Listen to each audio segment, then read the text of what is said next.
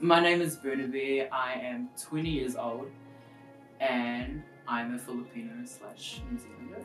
So I was just a typical Asian Catholic who would always just go to Mass every Sunday, just having no idea why. Until my sister, who was involved with the Catholic youth team for a while, um, introduced me to camps. And I was forced to go, so I had no idea why I was going. But at that time, I was feeling very happy and just vibing off the feeling of just being there and just being there for no reason, but I liked it anyway.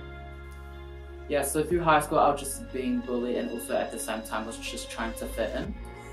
And it just kept going all the way through year 11. And all those things those people were saying to me, I really tried believing in those things. And whatever they were saying, I would also say them in as well. But in reality, I just saying them just to fit in and just to feel happy and make them feel happy. But in reality, that wasn't me. That wasn't really myself. My true identity. I just completely lost myself.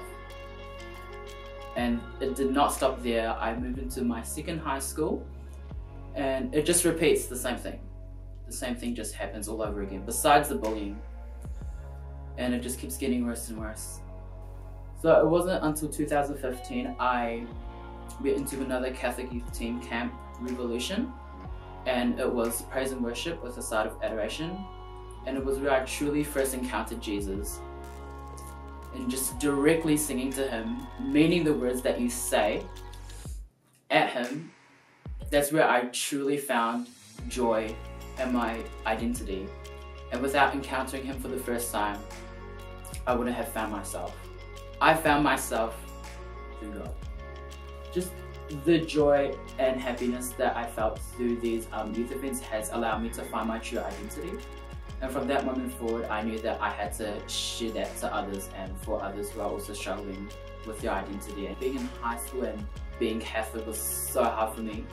I just felt like I was being Batman, just living two completely different lives. Like they, my friends either knew me as just this crazy, like friendly, funny person, or they knew me as just being a Catholic, and like that's it. Like you either knew me as like one side or the other. Like if you knew me as both, it was just weird. Because when I introduced my friends to this lifestyle that I really loved, that I felt true joy, they just completely denied it. And I knew from that moment forward I had to not live two, just not live two different lives I just wanted to feel joy all the time and just be in the presence of God. And from that, I've experienced and met better friends who are also pursuing Christ as well. So at a young age, all I wanted to do was to fit into society and feel happy. I lost myself through that process, but through Christ, I found myself.